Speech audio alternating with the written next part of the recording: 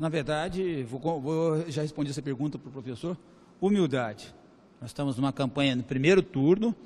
Enquanto não, não tiver a, a, a solução disso, se o povo entender que o delegado Valdir deve ir para o segundo turno, depois a gente mas eu o senhor respondo, aceitaria eu, eu, o apoio do PSDB no segundo não, turno? Eu não, eu não posso fazer adivinhação, uma previsão do futuro. Então eu vou continuar muito humilde, pensando que em respeito aos demais candidatos, em respeito ao eleitor, eu, eu prefiro não falar em segundo turno. No momento certo, se nós formos para segundo turno, vocês vão ter minha resposta. Mas pelo, pelas dicas que eu dei nesse debate, você já sabe a minha resposta. Mas eu não vou, eu não vou fazer isso, porque eu tenho que manter humilde e respeitar o eleitor, o nosso ouvinte, vocês jornalistas. Delegado Valdir, na sua avaliação, vai ter segundo turno?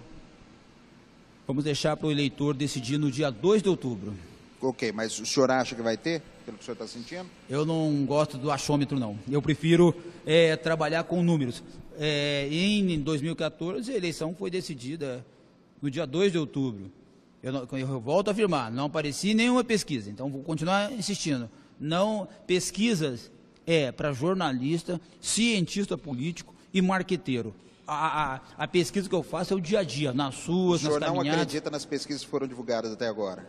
Eu não disse que não acredito, só que não, quando a, a pesquisa é feita por determinado órgão de imprensa que tem entre as suas verbas 5 milhões, 7 milhões, 10 milhões do governo do estado ou da prefeitura? Será que essa, será que essa pesquisa, e quando uma pesquisa coloca Valdir Soares na pesquisa com V ainda? Então eu, eu tenho que levantar, eu tenho, eu sou investigador. Eu quero lembrar que acima de tudo eu sou investigador. Eu não sou bobo. Eu não nasci ontem. É, eu não nasci ontem. Então que. Vamos esperar, né? Muita surpresa. Por que, que começaram a atacar o delegado Valdir? Por que, que será? É porque as pessoas estão ouvindo a voz das ruas. E diante das vozes das ruas e a voz de Deus, ninguém pode. Ninguém pode com a voz das ruas, com a voz de Deus. E aproveitando, se você me, me permite, né? É, tomem cuidado com candidatos demagógicos, que tem feito um, que tão, estão fazendo novamente falsas promessas, é, candidatos que querem desarmar os policiais de Goiânia, candidatos que querem dar uma arma para cada cidadão se defender. Cuidado com essas falsas promessas. Goiânia, nós precisamos de, de uma pessoa que seja administrador, que seja corajoso, que trabalhe contra a corrupção, que seja renovação. Cuidado, não caiam no conto do vigário novamente. Vocês estão vendo o atual prefeito, a lástima. Goiânia está entre uma das piores cidades para se viver, mais violenta que Rio de Janeiro e São Paulo.